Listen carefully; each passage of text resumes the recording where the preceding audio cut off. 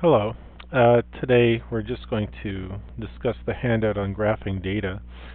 Um, now, I, I would imagine in this course, at least I would hope, that most of us know how to read graphs. And um, hopefully um, there isn't too much of a need to go over this in enormous detail. But since this um, topic is so central to data management, I feel compelled to go over it. So uh, we have a bar graph here. And notice the bar graph uh, has certain things here. Uh, it has a title, energy consumption. It has a y-axis. It says activity. And it has an x-axis uh, giving the energy in kilojoules per minute. Now, um, the activity is house cleaning, cycling, swimming, and brisk walking. Now, it would appear as though the kind of data here isn't numerical at all. It's it's like we have words or names given to them. And so um, we call this nominal data. Okay? And uh, you know, it's like your hair color or you know, things like that. Uh, it's not it's not like height or weight or blood pressure. You know, you would have that, you know, if if that appeared on this axis, it wouldn't be nominal data, it would definitely be numerical data.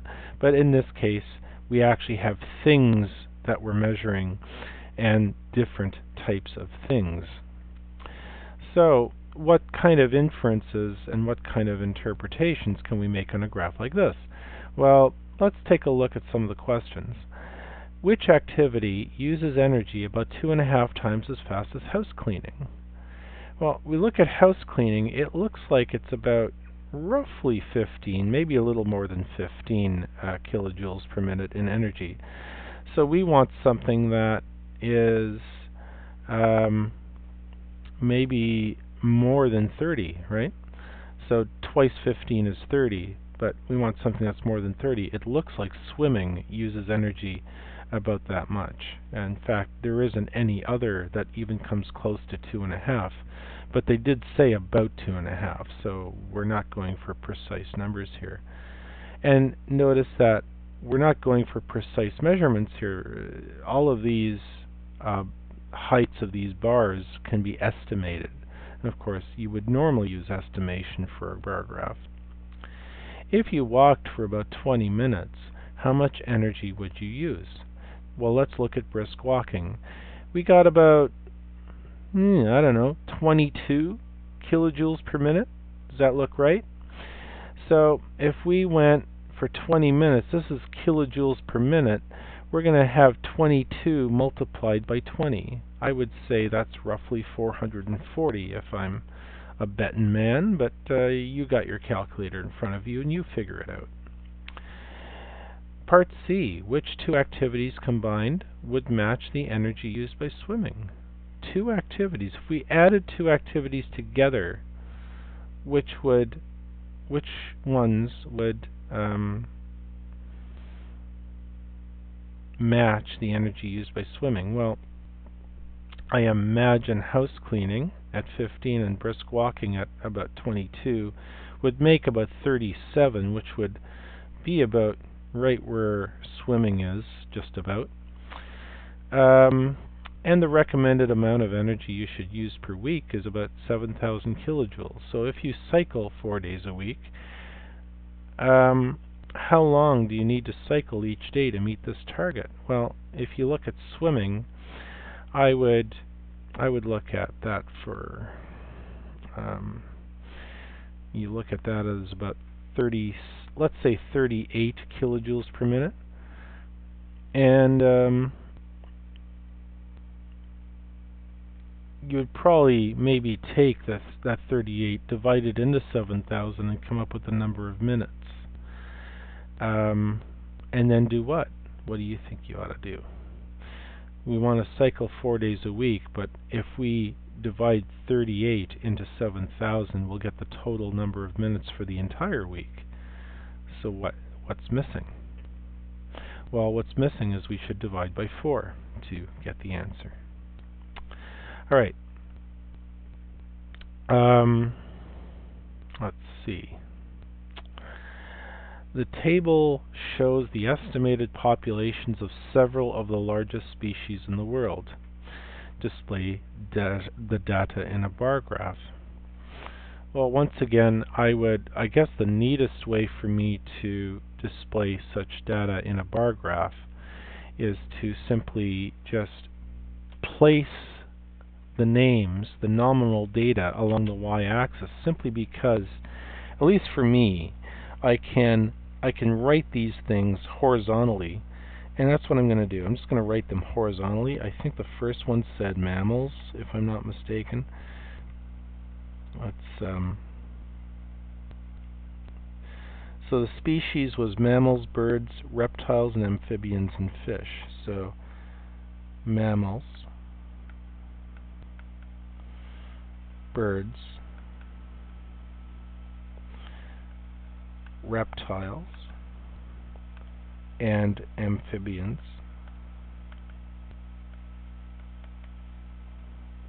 and fish.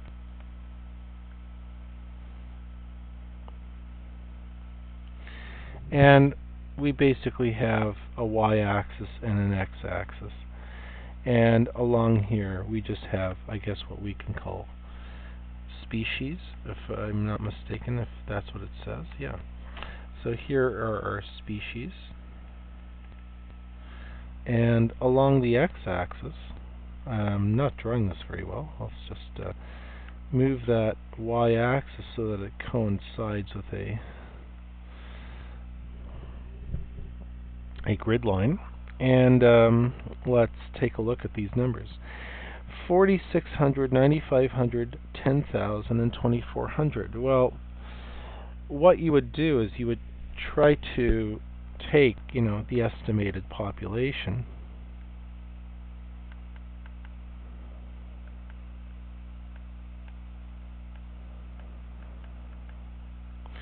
and see, you know, what you would do in terms of um, getting the numbers to work out along the y-axis.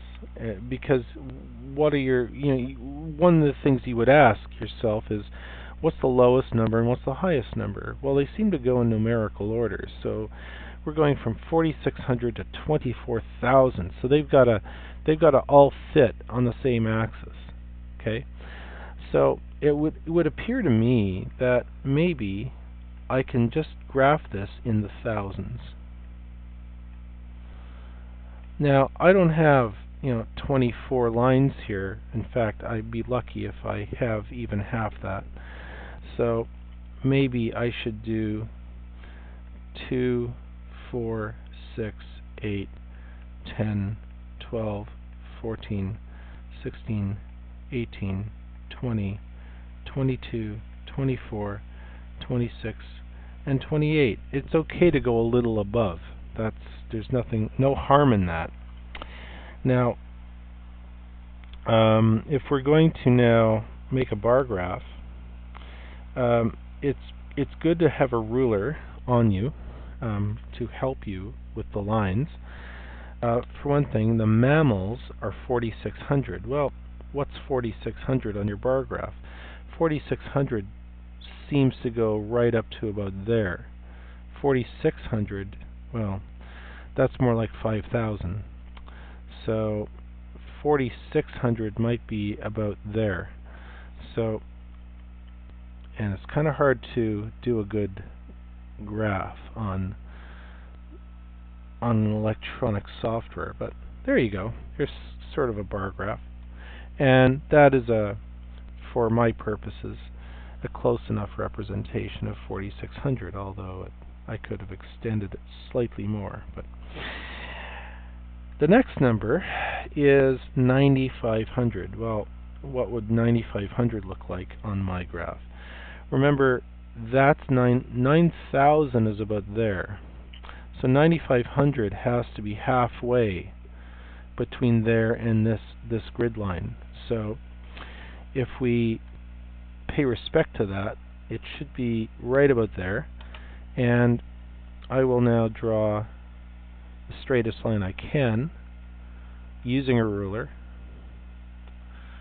And I really am using a ruler, by the way and I also just draw another bar. And so that's 90 that's my 9500. The next one is 10,000. So 10,000 isn't going to be very different from 9500. It's just going to be a little more and it's going to go right up to the grid line for birds and amphibians. So that one's going to be kind of easy to draw. It's just going to go right there. I'm going to top it off there and color it in. And there you go. So there's my bar for reptiles and amphibians. And finally, fish. 24,000. Well, 24,000 for fish goes all the way up to here. Lots and lots of fish. And once again, I draw a straight line and color it in. You can use different colors of bars if you like. I'm just sticking to one color and I'm not going for artistic merit here. I am simply going for just expedience and practicality. But at the same time, I'm aiming for reasonable accuracy so that a, a reasonable person looking at my bar graph will be able to get an accurate idea of the numbers that came from uh, numbers in the table that they came from. Um, I could have I could have been a little cleaner about titling my my axes, uh, you know, and it's only because it's a little awkward working with a laptop here and you know getting things like um, titles here to come out. But maybe maybe that might be better. And then estimated population uh, goes along here and of course you would simply say which way it's going because notice that um, the the um, the data here is called nominal data because they're the names of things. They're mammals, birds, reptiles, and amphibians, and fish. Along the x-axis, we have the estimated population in thousands. Now, what I could have done is I could have actually put mammals, birds, reptiles, and amphibians, and fish along the x-axis. I could have done it like that too. Uh, so there are really two ways of representing this data, and um, you know maybe another thing I could have done now that I think about it is also um, rewrite this x-axis so that it is actually a straight line and not just something I guesstimated. And not only that, now that I did it this way, I'm going to have to now put it along yeah, that's one thing I can do with software is just move lines to wherever I want to move them and so on. Okay, so there you go. So now you have you have uh, a bar graph of uh, species versus estimated population.